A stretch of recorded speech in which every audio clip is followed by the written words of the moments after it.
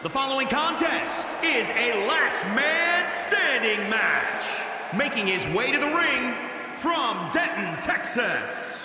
Weighing in at 137 pounds, Pedro. There is an absolutely big fight feel in the arena tonight for this one. Yeah, and judging from the vibe here currently, it seems to me like this is the one this sold-out crowd came to see.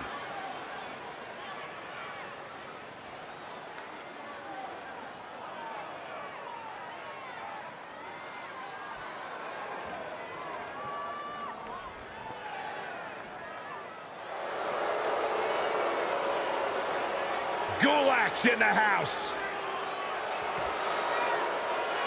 And his opponent from Philadelphia, Pennsylvania, weighing in at 100, Gulak. The fact is, Drew Gulak is a skilled mat technician. He pays great attention to detail, especially when it means manipulating the human anatomy.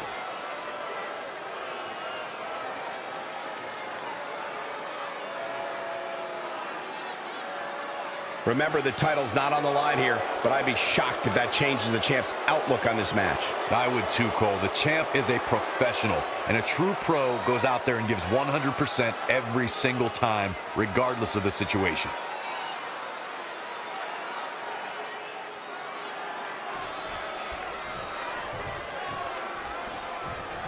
The WWE Universe loves a last man standing match, but they take a toll on these superstars. I can tell you that.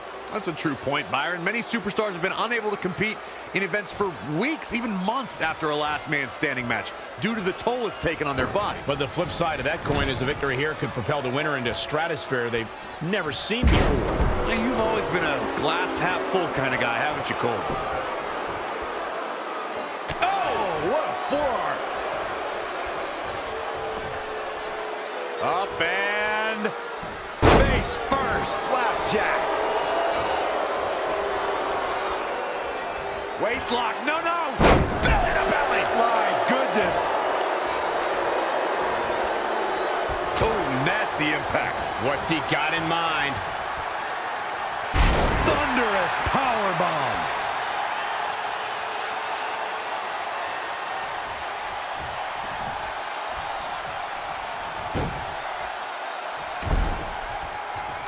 Punishing the opponent.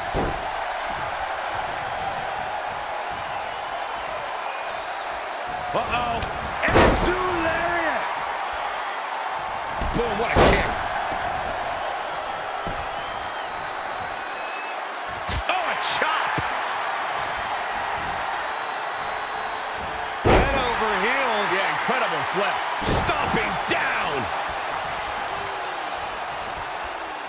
Clothesline. Good Lord. So effective. Measured up and drop. He's lost some of his win now. taking on some offense, but he expected as much. Just caught flush. Turning the momentum to his favor. It is all going his way right about now. Drew Gulak has made it his personal mission to establish a no-fly zone and eradicate high flyers from 205 Live. A tall order when you consider the many aerial specialists in WWE's Cruiserweight division. And this match is going to continue. From behind. Back suplex.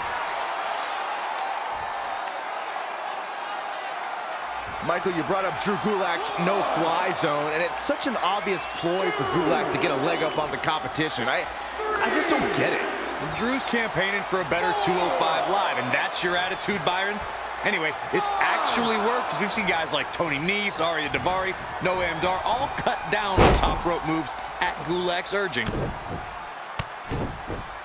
The impact! One,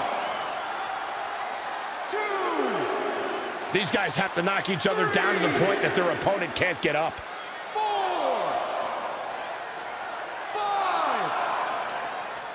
An incredible range of emotions here. No one knows what's going to happen next. Not where you want to be at this point in the match, guys. Definitely not. Hold on, guys. This isn't good.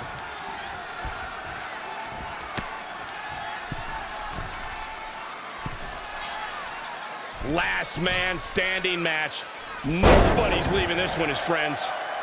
I'm no mathematician, guys, but by my calculations, a last man standing match is more than three times as brutal as a traditional match. After all, you only need to keep your opponent down for a three count in a traditional match.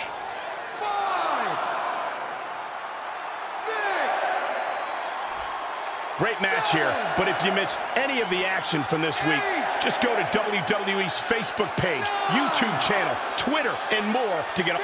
This grueling last man standing match has finally come to an end. That match deserves another look. Here we go.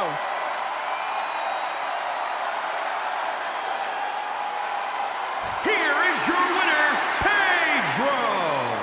And there's your winner, ladies and gentlemen. I guess Gulak needs